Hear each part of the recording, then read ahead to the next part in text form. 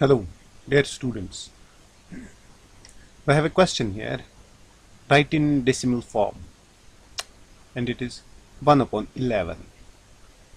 So, 1 upon 11 equals इसको हम divide करते हैं वन को डिवाइड करते हैं 11 से अ, एक रफ वर्क इधर करते हैं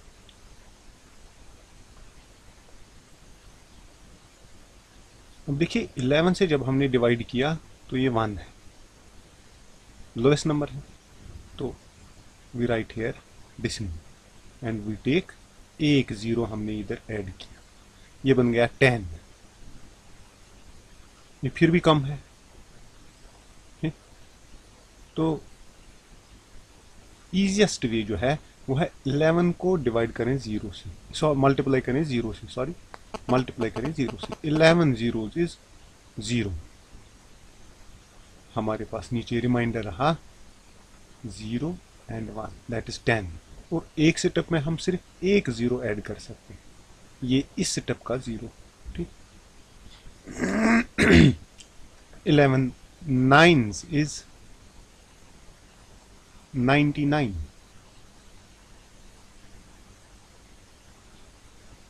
हमारे पास आया वन।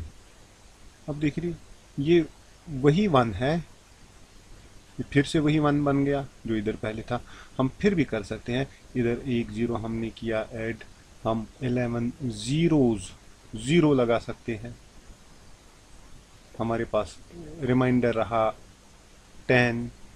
हम ज़ीरो ऐड कर सकते हैं and eleven nine is ninety nine.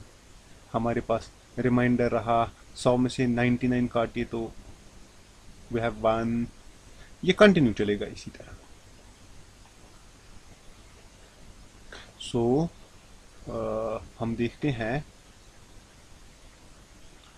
One upon eleven is equal to 0.0909 and so on और इधर रिमाइंडर कंटिन्यू चलेगा। ठीक? सो so, इसको हम कहते हैं it is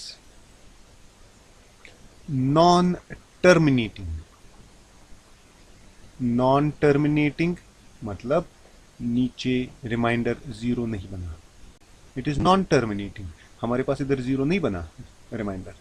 नॉन टर्मिनेटिंग और इधर देखिए आप नंबर्स जो है ब्लॉक ऑफ़ नंबर्स वो रिपीट हो रहा है। It is zero nine zero nine इसके बाद भी आएगा zero nine zero nine zero nine continue so it is non terminating repeating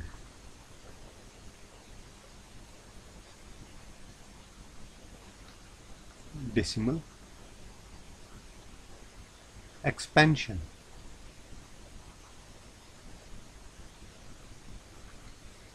so one upon eleven का डेसिमल एक्सपेंशन जो है, वो है non terminating repeating decimal expansion